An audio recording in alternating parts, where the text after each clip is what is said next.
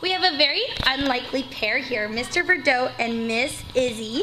Um, I know this morning Izzy just started with kissing Verdot to just get his attention, and as you can see, it worked. So, ladies, if you're looking for a man out there, apparently you just gotta follow them around and give them lots of kisses, and then he'll come and play with you.